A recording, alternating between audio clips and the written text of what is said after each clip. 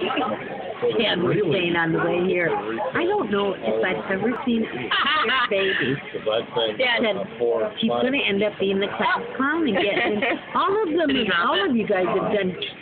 funny things, but on an all-day entertainment.